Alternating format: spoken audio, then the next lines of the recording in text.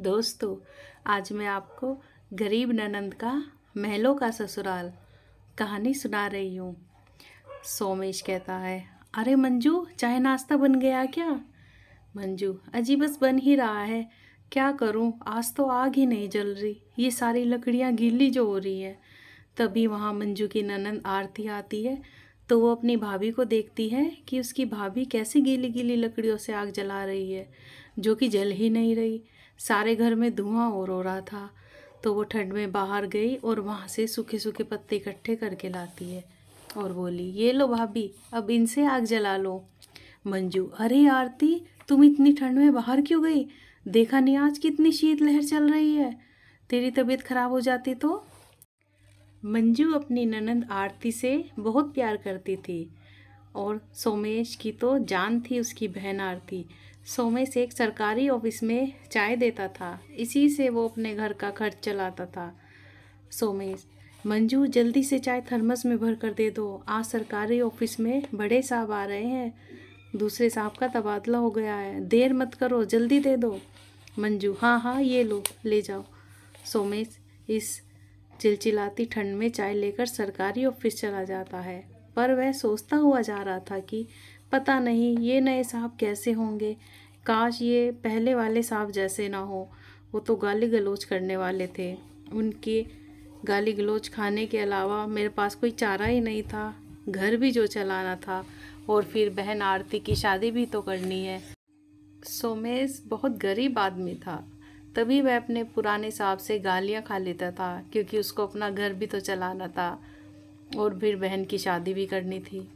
फिर वह ऑफ़िस पहुँचा तो देखा कि सामने वाली कुर्सी पर एक महँगे से सूट बूट में एक सांप बैठे हैं। तभी सोमेश दरवाजे के बाहर से ही बोला, स साहब जी, मैं आपके लिए चाय लाया हूँ। साहब कहते हाँ हाँ अंदर आइए। सोमेश काफ़ी डरा हुआ था नए साहब से तो चाय कप में करते वक्त उसके हाथ कांपने लगे और चाय छलक कर साहब के कपड़ों पर गिर गई। तभी सोमेश अपने गमछे से चाय साफ़ करने लगा। माफ़ कर दो साहब, मेरे कारण आपके इतने महँगे कपड़ों पर चाय गिर गई। साहब, मुझे मत निकालना, यहीं से मेरा घर चलता है। मैं बहुत गरीब हूँ और मुझे अपनी बहन की शादी भी करनी है। मुझे माफ़ कर दीजिएगा साहब, मैं आपके हाथ जोड़ता हूँ। तभी गौरव अपनी चेयर से उठा और बड़े प्यार से कहा अरे, आप आइए इस कुर्सी पर बैठिए और ये चाय आप पीजिए। आपको ज़्यादा ठंड लग रही है। आपके हाथ काँप रहे हैं तो आप ये चाय पियेंगे। गौरव ने अपना कोट भी सोमेश को पहना दिया। उसने घर पर आकर ये सारी बात मंजू और आरती को बताई। अरे, नए साहब बहुत ही नेक आदमी है। काश हमारी आरती के लिए भी ऐसा ही कोई नेक लड़का मिल जाए। तभी आरती रोते हुए, भैया, हम गरीब की शादी भी गरीब से ही होती है। हम गरीब को महले, महलों का सपना भी नहीं देखना चाहिए। यह कहकर आरती रो पड़ी। आरती के आँसू देखकर मंजू भी दुखी हो गई और उसका भाई भी उदास हो जाता है। ऐसे ही समय बीतता रहा और सोमेश अपनी बहन के लिए रिश्ते भी ढूंढना, ढूंढ रहा था एक दिन। साहब, मैं कल नहीं आ पाऊँगा, गौरव। क्यों? क्यों सोमेश भैया? साहब, वो कल मेरी बहन आरती को देखने लड़के वाले आ रहे हैं। अगले दिन ललिता अपने बेटे सौरभ के साथ आती है आरती को देखने। ललिता ने मुँह में पान खाया हुआ था, मंजू अपने पति से। अरे, सुनो जी, इस लड़के की उम्र तो हमारी आरती से दोगुनी लग रही है, और इसकी माँ को तो देखो, कैसे पान चबा रखा है। ललिता अरे बेटा सौरभ, बताओ तुम्हें लड़की पसंद आई? हाँ हाँ माँ, मुझे पसंद आई, ललिता कहती है। अरे मुबारक हो जी, हमारे लड़के को तो आपकी लड़की पसंद है। अब ज़रा दान दहेज की बात भी कर लेते हैं। देखो जी, मेरे बेटे की ये दूसरी शादी है, इसलिए मैं ज़्यादा कुछ नहीं मांग रही। बस एक बाइक, चैन, अंगूठी, टीवी और फ्रिज। और अरे माँ, बाइक नहीं, बुलेट बुलेट चाहिए मुझे? मंजू ने ये सोचकर कि एक अधेड़ और विदु लड़के से हमारी आरती की शादी होगी। उसका मन दुखी हो गया और वह गुस्से में भरकर बोली, अरे, चलिए आप उठिए यहाँ से और भागो यहाँ से। तुमने सोचा भी कैसे कि मैं एक विदुर से अपनी कुंवारी ननंद की शादी करूँगी? ललिता भी झल्ला कर बोली, क्यों? तेरी ननंद में कौन से हीरे मोती जड़े हैं जो इसे कोई महलों का राजकुमार मिलेगा? तुम्हारी दहेज देने की औकात नहीं है ऐसे ही किसी की राह चलते आदमी से इसकी शादी करा दो, अपनी महारानी ननंद की। चल सौरभ, चल यहाँ से। उनके जाने के बाद वे तीनों खूब रोए। सोमेश, मैं क्या करूँ मंजू? मेरी तो कुछ समझ नहीं आ रहा। मंजू, अजी ऐसा मत कहो। हम तो अपनी तरफ़ से पूरी कोशिश कर रहे हैं ना? और होगा तो वही जो राम जी ने आरती के भाग्य में लिखा होगा। अगले दिन सोमेश की तबीयत खराब हो जाती है तो ऑफ़िस में चाय लेकर आरती जाती है। वह गौरव के केबिन के बाहर से ही पूछती है मैं आई कम इन सर गौरव बिना देखे ही कह देते हैं yes come in Aarti. How much sugar you take in tea तभी गौरव देखता है कि एक फटे पुराने कपड़ों में लड़की खड़ी है और कैसी फर्राटेदार अंग्रेज़ी बोल रही है। गौरव उससे बहुत प्रभावित हुआ। Gaurav I am totally impressed पर आप हैं कौन? कहाँ से आए हैं? आरती, मैं सोमेश भैया की बहन हूँ। आज उनकी तबीयत ख़राब है तो मैं आ गई चाय देने। फिर दोनों ने काफ़ी देर तक बात की। ऐसे ही आरती कई दिनों तक चाय लाती रही और गौरव और आरती खूब देर तक बात भी करते। अब गौरव मन ही मन आरती को पसंद करने लग गया था और एक दिन उसे अंगूठी देखकर कहा, आरती, मैं तुमको बेहद पसंद करता हूँ। क्या तुम मुझसे शादी करोगी? मैं बहुत दिनों से तुमसे यह कहना चाह रहा था, पर हिम्मत ही नहीं हो रही थी। आरती कहती है, माफ़ करिए गौरव जी, मैं इतनी महँगी अंगूठी नहीं ले सकती।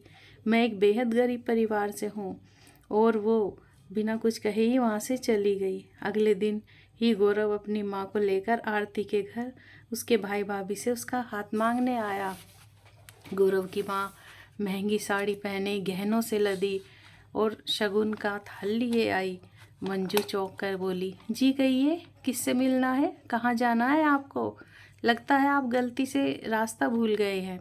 गौरव की माँ, बेटी, ना मैं गलत घर में आई हूँ और ना ही रास्ता भटक गई हूँ। मैं बिल्कुल सही जगह पर आई हूँ। मैं आपकी ननंद का हाथ अपने बेटे के लिए मांगने आई। तभी गौरव बोलता है, भैया भाभी, मैं आपकी आरती को अपने महल की रानी बनाना चाहता हूँ। बस आपके आशीर्वाद की ज़रूरत है। मंजू और सोमेश की खुशी का तो कोई ठिकाना ही नहीं रहा। उन दोनों की आँखों से आँसू बहने लगे। मंजू, मैं हमेशा से यही चाहती थी कि मेरी ननंद को महलों जैसा ससुराल मिले, पर ये तो नहीं सोचा था कि भगवान मेरी इतनी जल्दी सुन लेंगे और मेरी गरीब ननंद को महलों की रानी बना देंगे। इसके बाद गौरव की माँ अपने गले से हीरो से जड़ा हार उतार कर आरती को पहना देती है। अब मंजू और सोमेश दोनों ही दिन रात मेहनत करने लगते हैं और अपनी आरती की शादी करा देते हैं। वहाँ फूलों से सजी एक बड़ी कार में आरती की विदाई उसकी झोपड़ी से होती है। आरती रोते हुए कहती है, भैया भाभी, आपने मुझे इतना प्यार दिया है, इसके लिए मैं हमेशा आपकी आभारी रहूँगी। मंजू, ऐसा मत कहो मेरी प्यारी ननंद, इसके बदले में तुमने भी तो हमें इतना ही प्यार दिया है। अब तुम खुशी खुशी अपने घर जाओ। उसके बाद उस गाड़ी में बैठकर वह अपने ससुराल आती है, जहाँ पर महल से बहुत दूर तक फूल ही फूल बिछे थे उसके स्वागत में।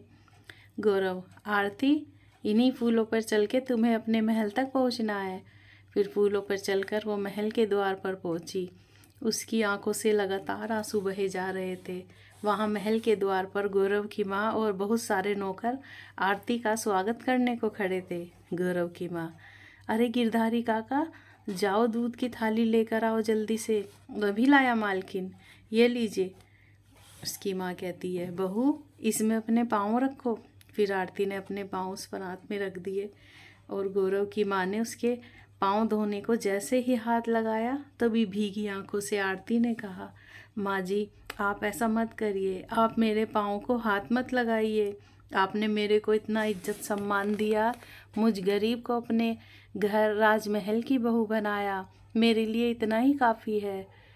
तभी उसकी माँ कहती है, बहू, अब तुम इस राजमहल की बहू हो, और बहू तो लक्ष्मी का रूप होती है। इसलिए मुझे अपनी लक्ष्मी का दिल से स्वागत करने दो। फिर गौरव की माँ दूध से उसके पाँव धोती है। तो आरती को अपनी गरीबी भरे दिन याद आ रहे थे कि कैसे वो जंगल से लकड़ियाँ बीन कर लाती थी। चाहे बारिश हो, चाहे धूप हो या ठंड हो, कैसे चक्की चलाकर आटा पीसती थी और उपले बनाने के लिए सड़कों से गोबर उठा कर लाती थी। इन सब बातों को याद करके और आज इतने बड़े राजघराने की बहू बनकर वो बड़ी खुश थी। और उसकी आँखों से लगातार आँसू बह रहे थे, पर ये तो खुशी के आँसू थे। वो भगवान का धन्यवाद करती है। धन्यवाद भगवान जी, आपने मुझे इतना अच्छा जीवन साथी और इतनी अच्छी सास जो दी, तभी उसे गौरव वो अंगूठी देता है जो उसे, उसने एक बार लेने से मना कर दिया था। गौरव पूछता है, तुम खुश तो हो ना आरती? आरती कहती है हाँ हाँ गौरव जी, मैं बेहद खुश हूँ। पर एक गरीब को एकदम से इतना सब मिले तो वो उसे एक सपना सा लगता है और एक अच्छा और संपन्न ससुराल पाना हर लड़की का ख्वाब होता है। पर ये सब का ख्वाब पूरा नहीं होता। पर मैं वो खुश नसीब हूँ जिसे इतना अच्छा सब कुछ मिला है। उधर उसके भैया भाभी भी बहुत खुश थे। उसको जो राजमहल जैसा ससुराल जो मिला था और आरती भी बड़ी खुश खुश रहने लगी थी।